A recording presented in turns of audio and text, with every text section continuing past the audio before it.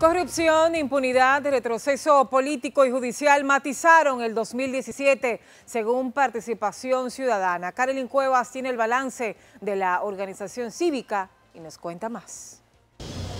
Buenas tardes, así es. Según Participación Ciudadana, un rosario de escándalos matizado este 2017, así como un retroceso en el sistema de partidos y otros puntos que veremos a continuación. En su balance anual, el organismo cívico Participación Ciudadana indica que el 2017 pasará a la historia como el año con más escándalos de corrupción, mientras la justicia continúa rezagada por la falta de recursos. Todavía enfrentamos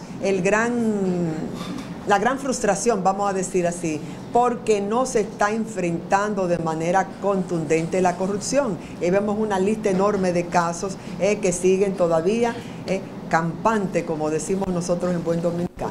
Además del rosario de escándalos, el organismo de la sociedad civil aseguró que en el plano político el 2017 ha sido uno de los más negativos. Los partidos políticos, que deberían ser el puente entre la ciudadanía y el Estado, están prácticamente desestructurados. Si a eso te añade la corrupción, el clientelismo y el rentismo, eso va desgarrando el cuerpo social dominicano y es lo que está ocurriendo.